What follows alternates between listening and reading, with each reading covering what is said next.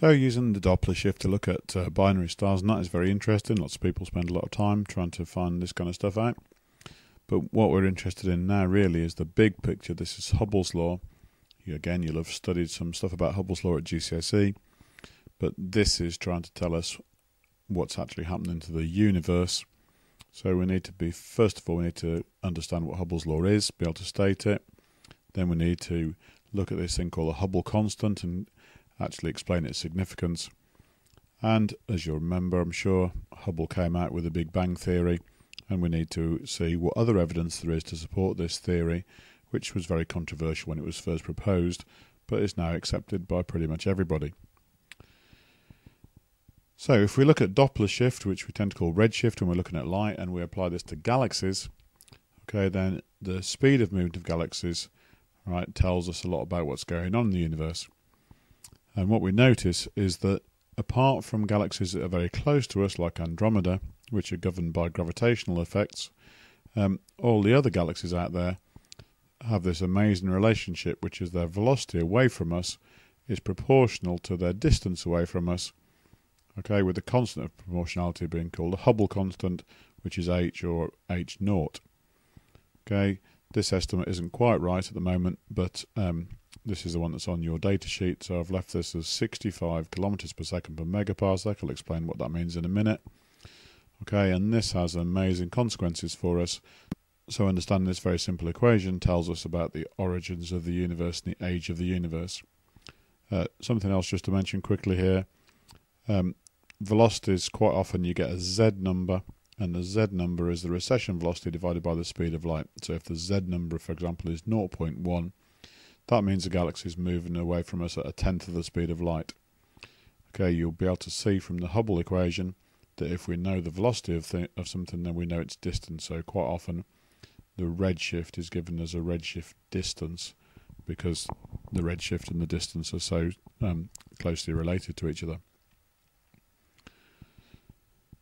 So how does that work in the real world? Well, uh, here's some galaxy clusters um, so we can we don't need to look at individual galaxies here because the whole cluster will be moving away from us.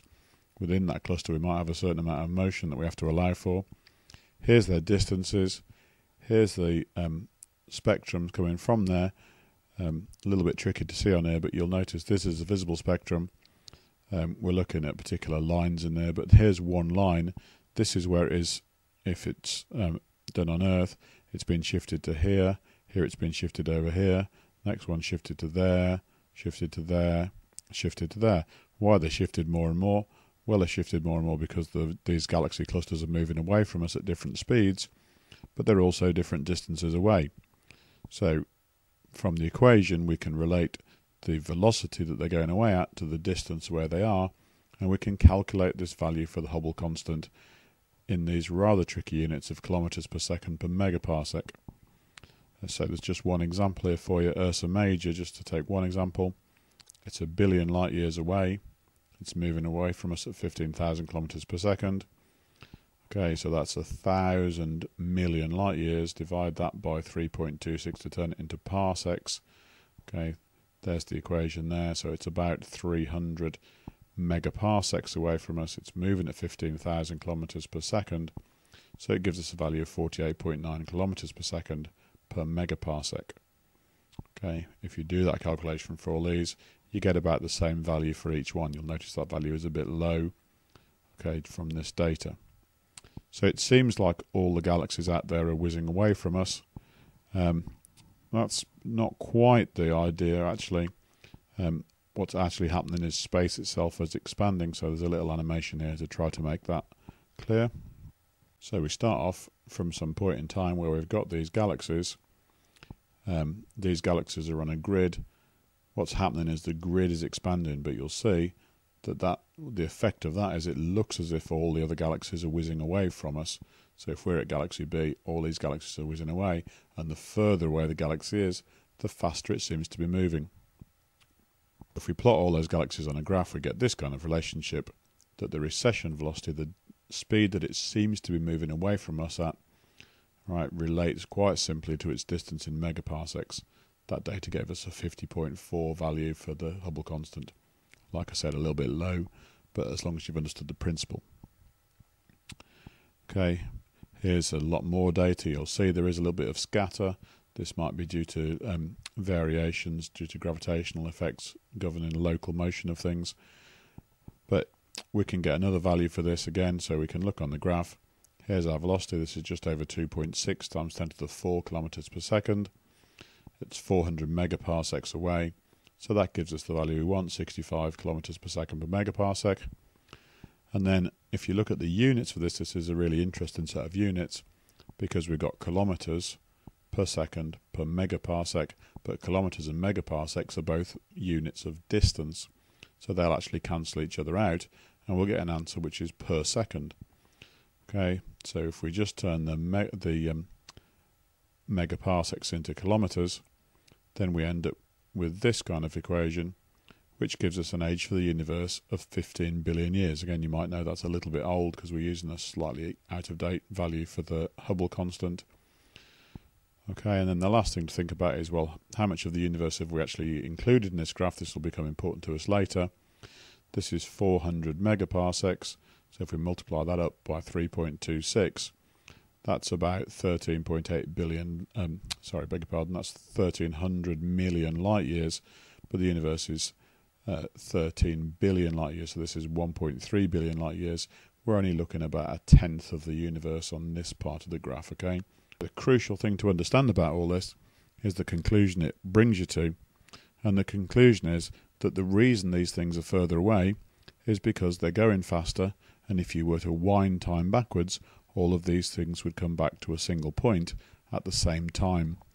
So what Hubble said is all of the galaxies out there were all formed at the same time, or at least the original matter they come from was all formed at the same time.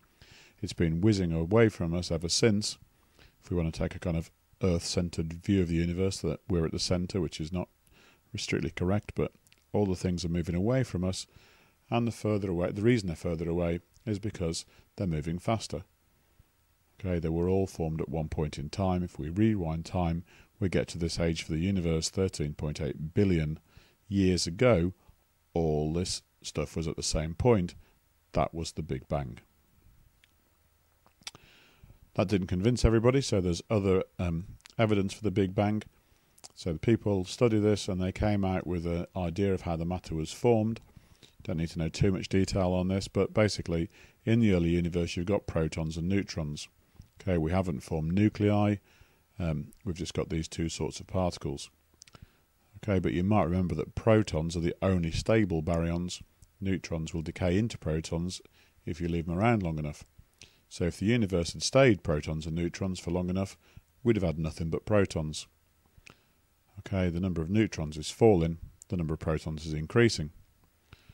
Okay, but when a neutron and a proton combine, then we get a deuterium nucleus, or you can get two protons and two neutrons forming a helium nucleus. Okay, and once that happens, neutron decay stops because the neutron and proton together in the deuterium nucleus are stable.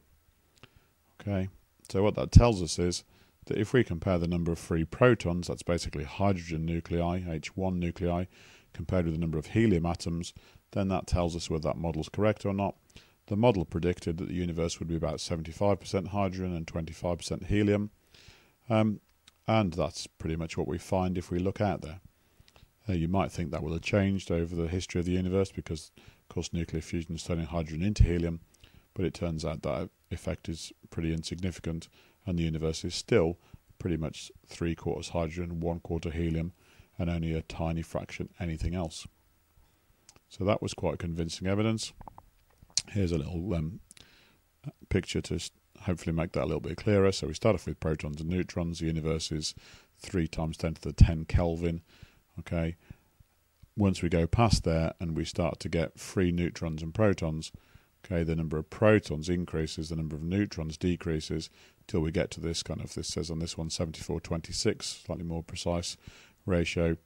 And after that, nothing else happens because any more neutrons have decayed. The only neutrons we're left with are the ones that are trapped inside these atoms. Uh, sorry, I should say inside these nuclei. We haven't got atoms yet at this point of the universe. Okay, the other piece of evidence that you might have heard of is the CMBR, the cosmic microwave background radiation. The argument for this goes uh, as follows. So when the universe started, there was just a fog of particles, okay? This is because we haven't got atoms. We've got nuclei and we've got electrons wandering around free. And if you shine radiation through that, the electrons can absorb any kind of energy of particle so any photon that's coming through the universe just gets absorbed and retransmitted in a different direction, and none of that light is really left. It's all been absorbed um, until we get to 380,000 years old. Because at 380,000 years, the universe is cooled enough so the electrons are going around the nuclei and we've got atoms.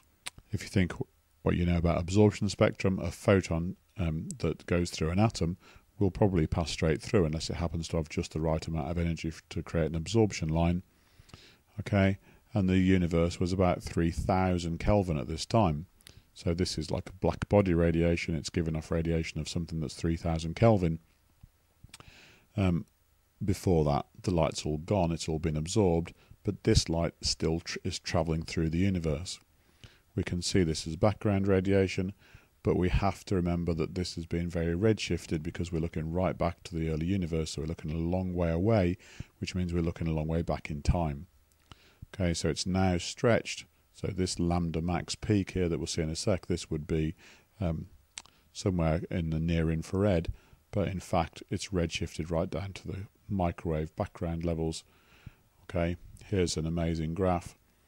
It looks like you've plotted some points and then you've put a curve through them but in fact that's not right. The curve is the blackbody curve for something that's 2.7 Kelvin, and the dots are the measurements made by the COBE satellite, and you'll see that the dots incredibly closely follow that curve. Um, and you can work for, out from that the temperature of the universe. So this says 2.7, but actually if you use the numbers we've got, you end up with Wien's law says lambda max equals kT. So T is the peak of this about um, 0.105 centimeters, so 0.0105 meters divided by the Wien constant gives us about 3.5 Kelvin.